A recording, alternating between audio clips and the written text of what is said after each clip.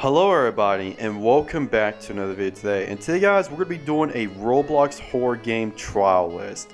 Now, I've basically seen a lot of tier lists on YouTube, on Roblox, and most of them are just, you know, games that everybody plays now, like popular games and stuff. And I've seen some of YouTubers and stuff, but I've never seen one on horror games. So that's why I decided to make this video, to basically rate 28 horror games that I have listed right now.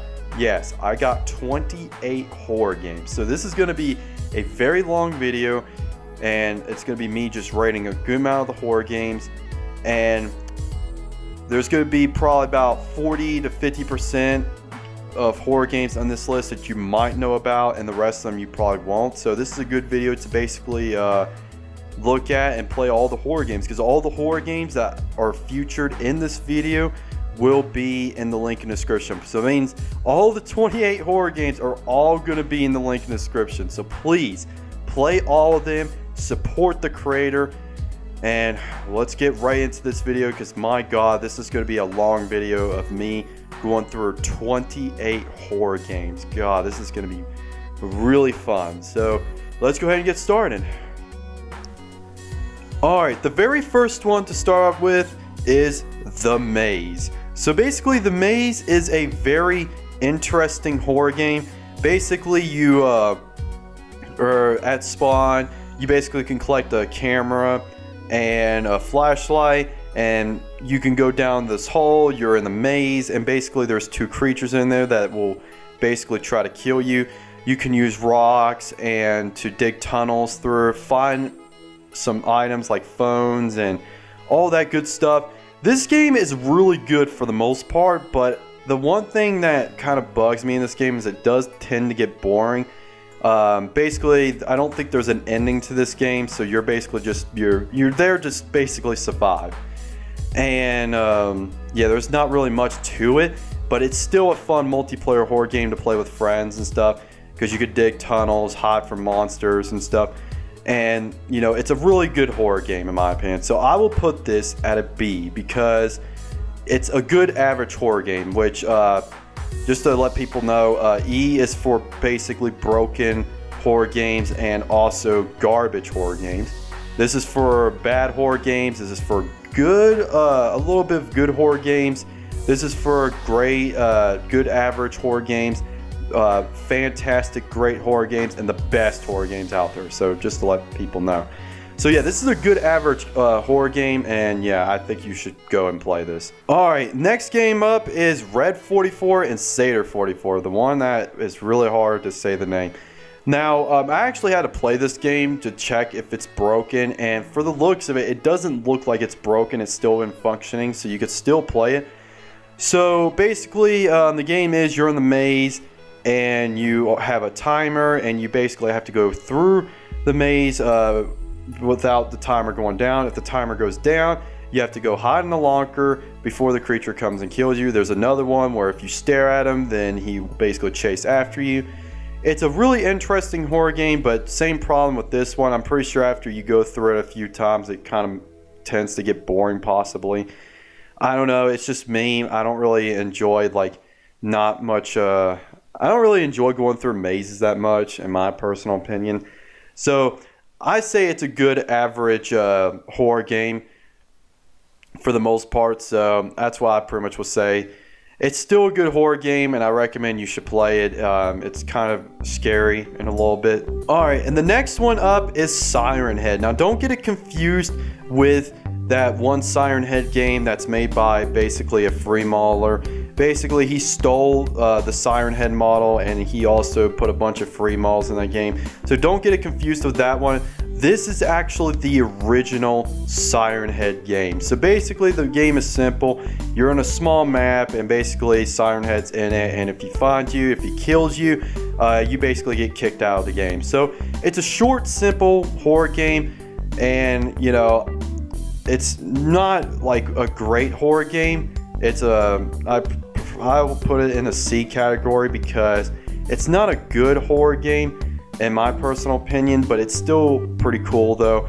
Um, and it's also made by the original creator, not that free model one. Uh, that free model one would have been a D or an E because I don't really like free model games that much. So, but basically, yeah, please play this one uh, instead of that one and support the original creator because this is actually the original Siren Head game.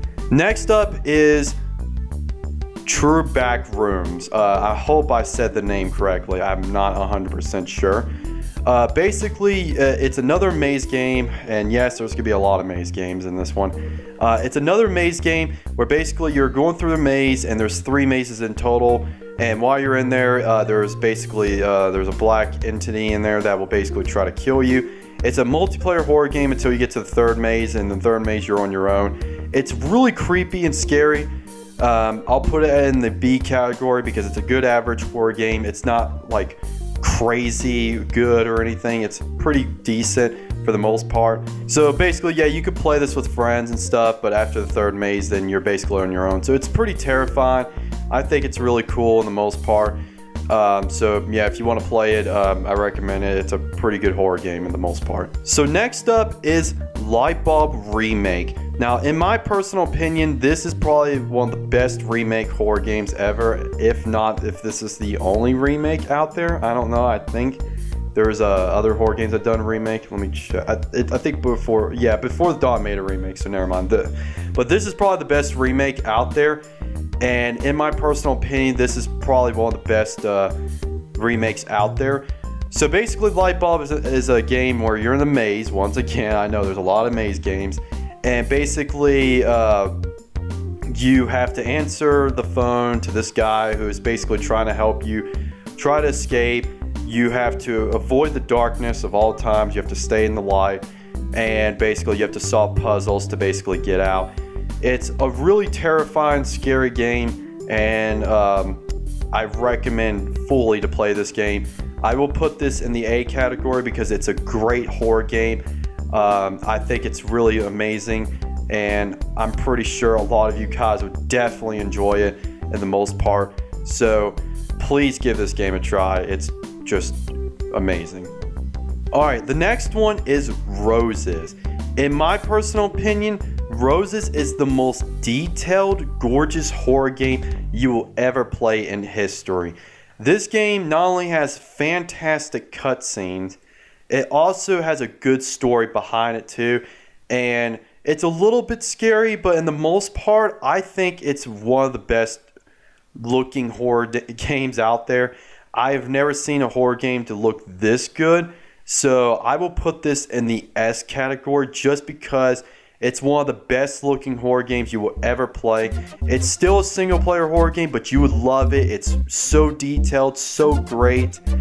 And basically, what you're doing is you're looking for a friend in this uh, asylum, and basically, uh, like I don't remember fully on it because I haven't played in a long time. But you're looking for a guy uh, that's your friend, and he basically got lost in asylum and stuff.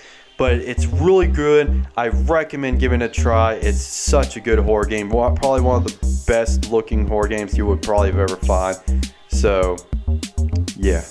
Next up is Slender Amended. Slender Amended is another horror game where basically uh, you have different choices of different maps you can go to. You can go either the farm or the forest, and you can either go collect eight pages, play survival, or basically go to relaxation.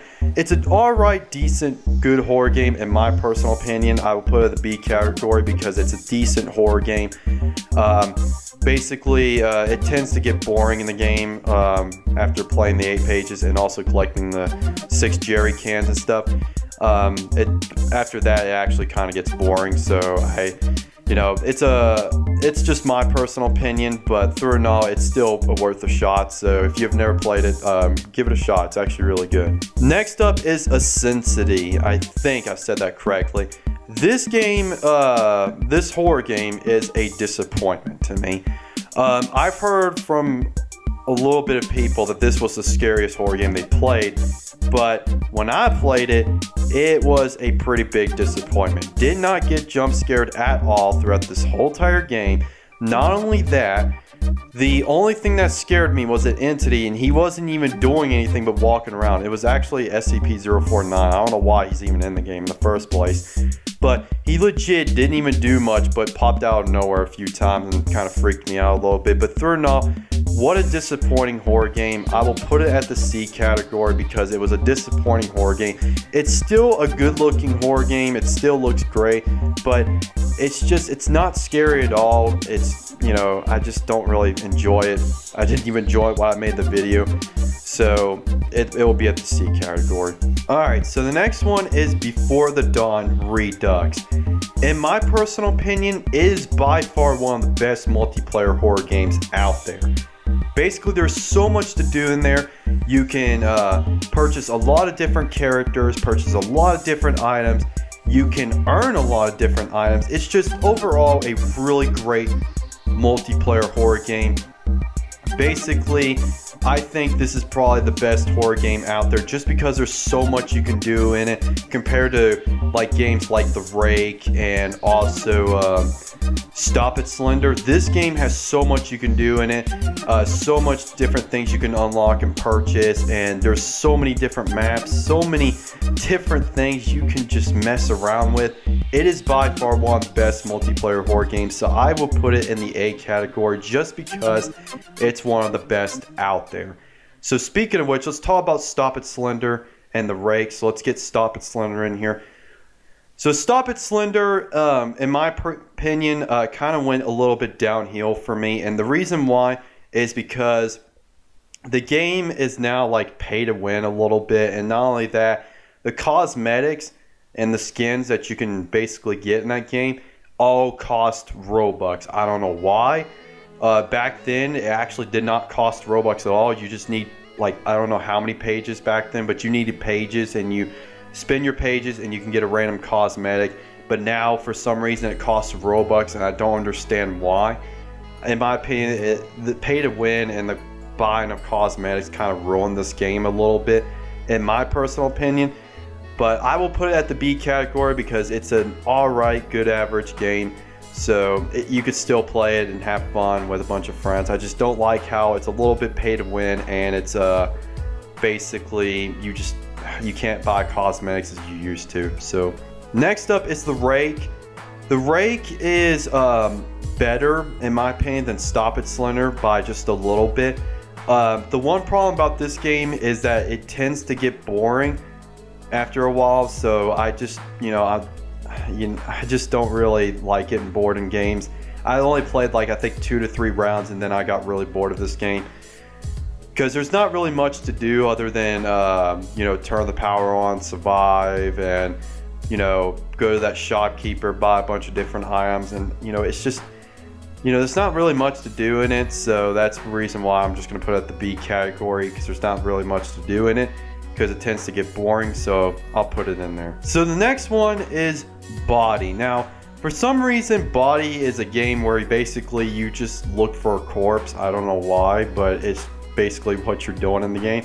So basically, you're in a hospital and you're collecting keys and items, and you're basically looking for a corpse, which, like I said, again, I don't know why, but you are. So I will put this at the C category because even though it gave me a really good jump scare, it's still just a game with, you know, just jump scares and stuff. Not really much there. In my opinion, it's just a game with jump scares, and that's basically about it. Collecting items and just going through the game, and that's basically it. There's no entities or anything chasing you, nothing really exciting, just jump scares, jump scares, and jump scares. So it will go to the C category because it's a it's a good horror game, but it could need some work into it. So basically, yeah. Next up is Do Not Look Up. The game or I could say the only horror game that pissed me off the worst. This will definitely go to the C category. It's a good horror game, but it pissed me off. Uh, basically, the horror game uh, is basically based off SCP.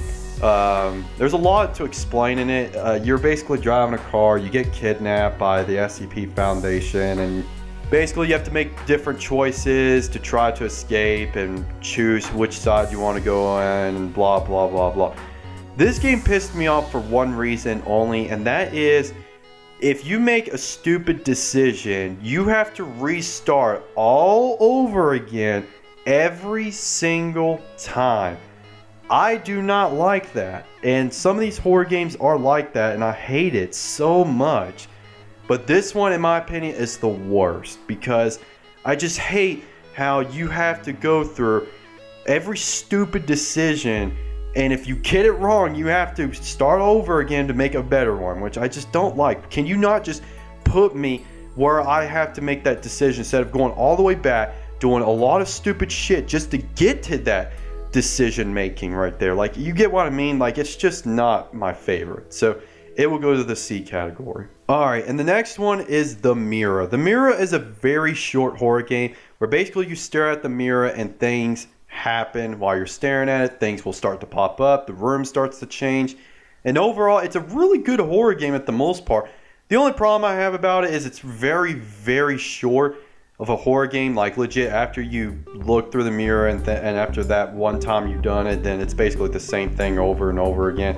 So I will put it the C category. It's a good horror game in the most part, and basically. Um, I think it's uh, a good horror game in the most part. I just, you know, it's basically the same thing over and over again. So it's just a one-time play. I could I could say one one-time game through or game uh, or gameplay. You get what I mean.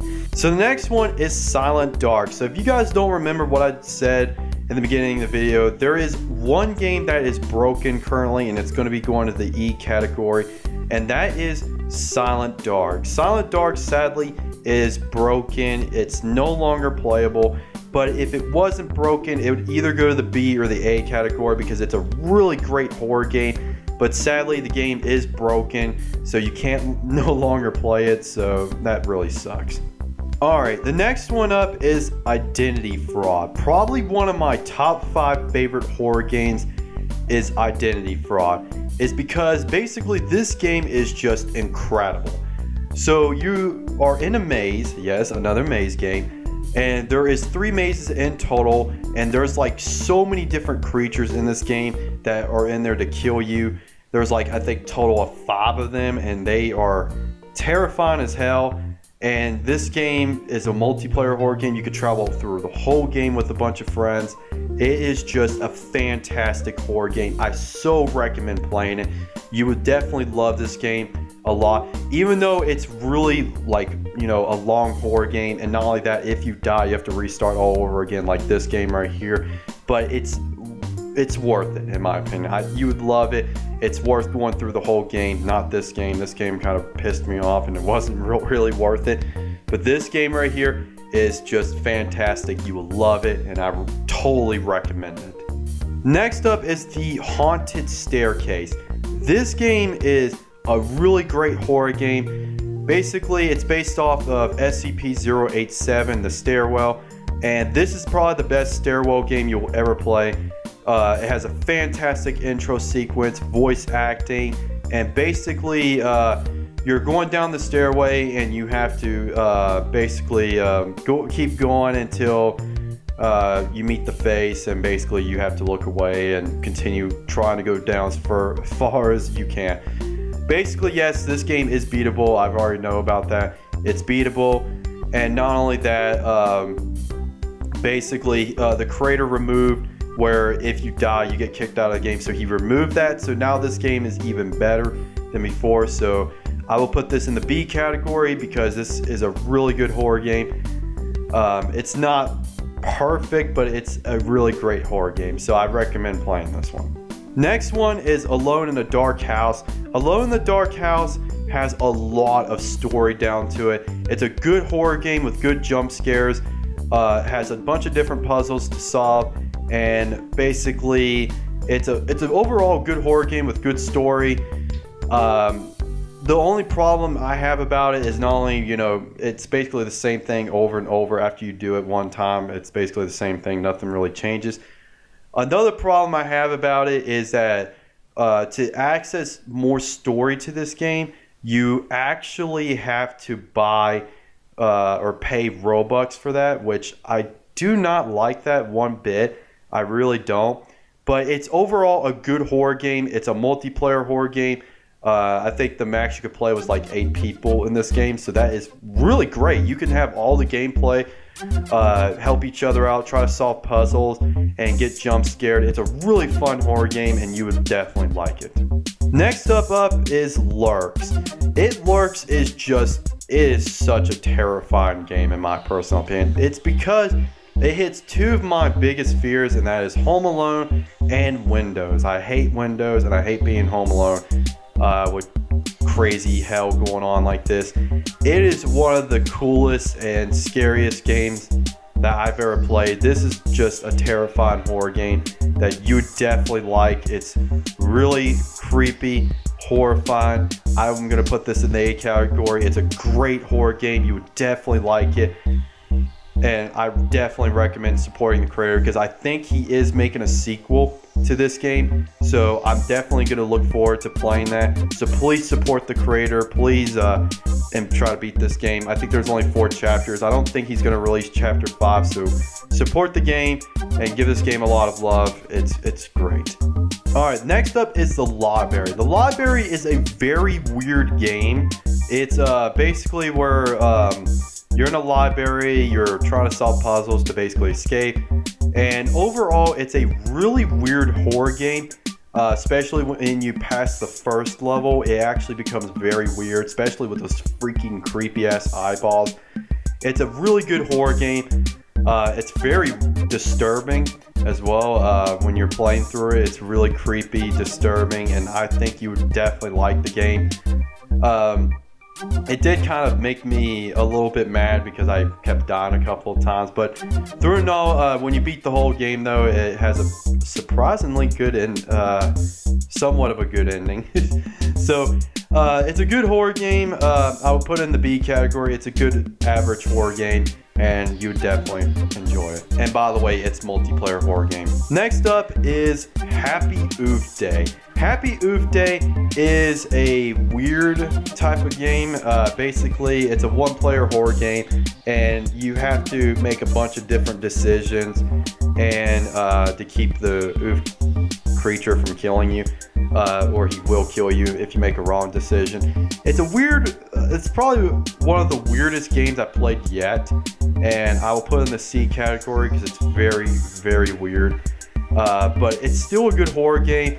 Um, it's somewhat, um, you know, a pretty good horror game. I think you definitely will enjoy it um, if you play through it. Uh, the only problem I have about this game is that, you know, if you die, you have to restart all over again, as most of these horror games are. If you die, you have to restart all over again, in which I really don't like it. I don't like that type of play style. I prefer getting to the point where I was, but through and all, um, yeah, it's still an alright horror game. Next up is Piggy. Now, Piggy got some pretty good popularity going on for it. But sadly, I do not really care for this game that much. I'm going to put it the C category. I don't really care too much about it. It's basically a copy of the Granny game. I don't really care too much about it. I don't really, I don't, you know, I just don't have a heart to it. I just don't really care too much about it. Like, you know, it, it's just a copy of the Granny game. It does have some story to it, and it is a multiplayer horror game. But through and I just don't really care too much about. You know, I still play it a little bit of it, but I just don't really care too much about it. I don't really consider it a great or good horror game. I consider it an alright horror game, but through and all, I don't really care too much about, so it'll be in the C category. Next up is The Realm of the Nine Portals. Probably one of the best multiplayer horror games you will ever find. This game right here. Not only this game is pretty terrifying, it's one of the best, in my opinion, when it comes to multiplayer horror games. This game is so good. Uh, there's so far three portals that you can go through in that game, and basically you have to it, it, like I said, when you get into it, it will shock you. There's three portals you can go through. Uh, all three of them being different, like the maps in there are so different, and like the maps are different. There's different things in there, and it's just it's great. You will actually love it, and you can play with friends in there and explore with friends. The only problem about this horror game, once again, is that if you die, you have to restart all over again, which that sucks. Especially when you get really far into one of the uh, portals, like in one of the maps and if you die, you have to restart because the maps in this game are really long. So, you know, if you do not like dying and restarting all over again, then this game right here probably not it's not going to be your favorite, but it's my favorite because it's just a great horror game. I love it. Probably one of the best multiplayer horror games out there so far. Next up is Dead Silence, and Dead Silence is another great multiplayer horror game. I will definitely put this in the A category because it's a good horror game. Basically, um, I don't really know the story behind this game. Uh, basically, you're looking through, you're looking for somebody in this game. Uh, basically, uh, there's jump scares that are pretty terrifying. Uh, this game has some horrifying, terrifying moments. It is a multiplayer horror game. You can play with two players. Um, so you could play with a buddy and go through this game and go through jump scares and stuff. So it's a really good horror game in the most part. I think it's really great at the most part, so I recommend giving this game a, a try. Next up is school history. Uh, school history will go with the B category. Uh, basically, uh, it does have the same problem as Body, where it's just constant jump scares. But this one, in my opinion, is better because it not only has really great jump scares, but it also has a great atmosphere because it's very dark and it's creepy. There's no music, and the jump scares happen at a really bad timing. Like it happens bad timing, and it really scares the hell out of you. Like this game, not only it's really terrifying, but it gave me one of the biggest jump scares out of all the horror games. So basically, this game is definitely worth giving a shot. It's a one-player horror game, by the way and so forth. It's a it's a good horror game. Next up is Seek Quill. Sequel is another uh, game basically based off SCP, and this game is really good. I actually love the story behind it. Basically, uh, you're this kid that's basically you know waking up every night to get some water because um, he gets thirsty most of the time. I don't know why, but basically he gets up, gets water every time, and every time he wakes up uh, basically uh, things change. His uh, the house changes, and these demon things pretty much come out and try to kill him. And it's a really good horror game. You would definitely like it. It has some secrets in it. It has uh, a lot to offer. Um, I'm pretty sure the game, uh, the creator of this game, is making a sequel or a prequel to this game. So I'm definitely looking forward to playing that. So it's another single player horror game. So yeah, definitely check it out. Next up is The Apartment. The Apartment is a very short horror game. Uh, it will go to the C category for being uh, just an alright horror game. Basically, it has some bugs in it. Uh, it's a multiplayer horror game, and basically, it's a somewhat of an alright game. Uh, the jumps. This game is basically just a jump scary game. Uh, there's really not much in it, other than you know being a little bit buggy but it, it's still worth a try. You know, all these games are worth a try despite, you know, having some problems with it. Uh, so, you know, this game is still worth a shot. You can play with a buddy, and it's a good it's a good horror game, so I give it a shot. And finally, we're at the final horror game, and that is Welcome. Welcome we'll go to the B category. Uh, it's a good average horror game. It's a short horror game that has a lot of potential. It has uh, basically a lot of different endings and stuff that you can go through in that game. There's a lot of different stuff you can do in there, a lot of secrets that you can find in that game. And the game is very interesting uh, in the most part because basically there's a lot of things you could discover in that game. Um, and overall, it's a really great, interesting horror game. I recommend giving it a shot, giving it a try. It's another one player horror game. So please give that one a try. It's pretty great. Alright guys, so that's pretty much it. That is the horror game tier list. Now I want to apologize if I did not give a good description on some of the horror games on this list. That's because most of the time I actually want you guys to actually play them instead of just telling you everything about the horror game. Because in my opinion, it kind of ruins it if I actually just went ahead and told you everything about it. I recommend just going in and playing it yourself because I feel like it's a better experience if you play it yourself. So basically, that is it. Um, so uh, this, by the way, this whole entire tier list is my opinion. Just to let you all know, it's just my opinion.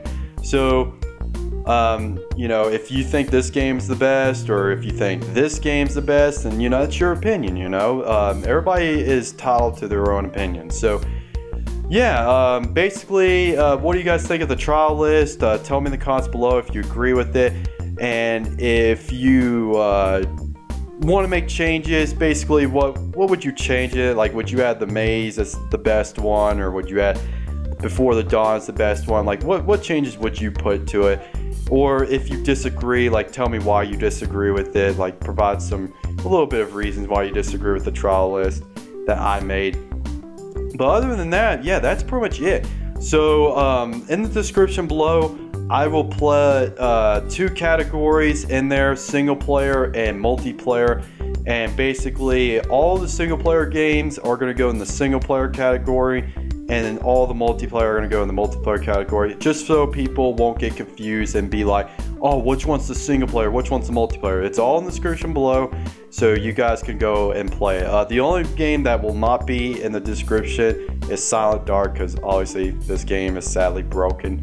But other than that, yeah, that's basically it. That is the horror game tier list, the very first of its kind, and I'm glad to be the first one to actually do it. So, yeah, this is what I think of all the horror games. This is how I rate them all and how I did it. So, yeah, so through and all, thank you guys so much for watching. Please support this video and give it a like because this video took me forever to make, especially um, I have to go through all 28 of these horror games and record at least some footage of it so you basically can get um, an idea of what the game is basically about. So please give this uh, this video some love because you know, it took me a long time to get this video made, and it's going to take me forever to edit and do all this. So, other than that, thank you guys so much for watching. I'm Mr. Dark Doom, and I'll be seeing you guys in the next video. Bye-bye.